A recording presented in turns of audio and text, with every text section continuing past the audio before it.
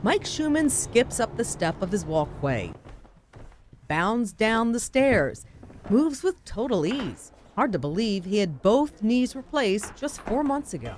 Left leg done was the 14th of March, and then the second leg was done the day after my birthday for my birthday present on the 28th.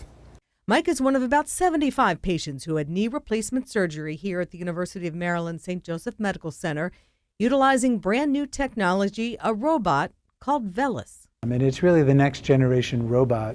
Dr. David Dalury is chief of orthopedic surgery and helped develop this new technology. What the robot does is rather than just having a regular set of instruments, the robot allows the surgeon to do soft tissue assessments to feel exactly how that knee feels and to recreate what's the best plan for that individual patient's knee. Dr. Dalury says VELYS eliminates guesswork in the placement of the new knee joint. And there's a beautiful planning screen that you can sit and play with, and you can make these minor little changes that regular instruments would never have given you enough um, ability to make those kinds of fine tuned decisions on the fly. And that ability to fine tune makes the outcome more successful. One of the most common reasons for knee failures is instability, the fact that the knee is unstable by the surgeon having the information live, instantaneous feedback, they can prevent that from occurring.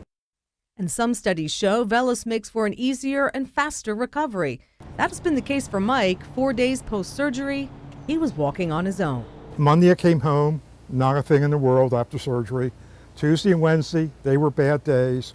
Friday I walked into uh, physical therapy, no cane, no nothing. Mike believes pre op physical therapy helped as well. Bottom line, he's getting back to his many activities. Knee pain forced him to quit his job on the chain crew for the Ravens, but now he's getting back on the field with the Terps. But I am going back to Maryland, which was one of my roots, and working on the sidelines. I already have one game this year.